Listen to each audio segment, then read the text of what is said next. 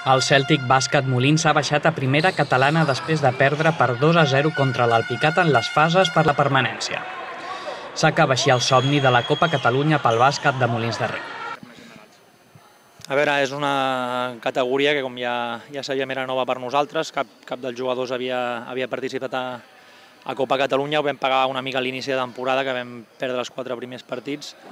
però després la cosa va anar rotllant, vam anar trobant la manera de competir des, de, des del primer minut, eh, tot i així alguns finals ajustats ens van escapar, aquí dues pròrrogues aquí que ens van fer bastant de mal. Arribem a Setmana Santa amb una ratxa boníssima de 5 victòries en els últims 6 partits i semblava que estàvem a poc de, de poder arribar a aquestes 15 victòries que marquen la permanència. A vegades, normalment amb 14 ja, ja, ja, ja tens la desena plaça, però després de Setmana Santa ens venen mals partits, vam perdre en 3 de seguits en, en 8 dies i bé, ens hem...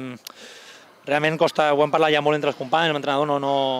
no sé exactament què és el que ha passat, que l'equip ha fet un, una baixada general als últims, als últims partits i en el pitjor dels casos, amb tots els resultats de tercers que no ens han afavorit,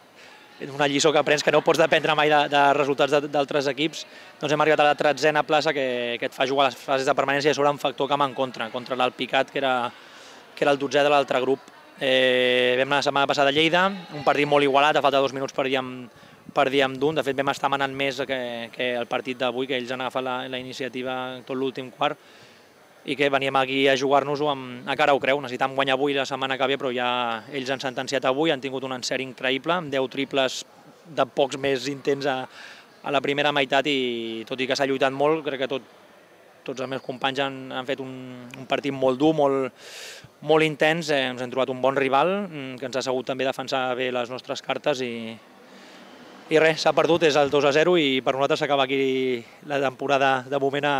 l'aventura de moment a aquesta Copa Catalunya. Després de plantar cara a Lleida, l'equip rebia l'Alpicat amb l'esperança de poder equilibrar la balança en l'eliminatòria. Però no va poder ser, sobretot per l'encert en el tir de l'equip de la terra ferma, qui va ser just vencedor.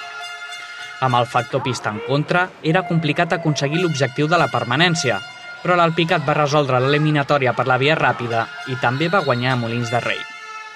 La part positiva de la temporada és l'experiència que han guanyat els joves jugadors molinencs, després d'un curs a Copa Catalunya. I és la part positiva que, que sí, o, sí o sí, eh, independentment del resultat final o de la classificació final, doncs t'endús amb un equip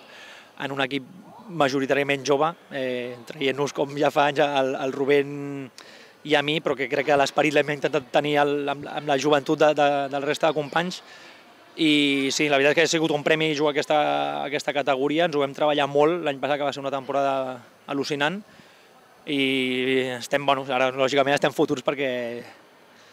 perquè no volíem, no volíem perdre la categoria, semblava que ho podíem aconseguir, però aquest final de temporada realment no, no han sortit les coses com esperàvem, no ens han sortit gens bé i,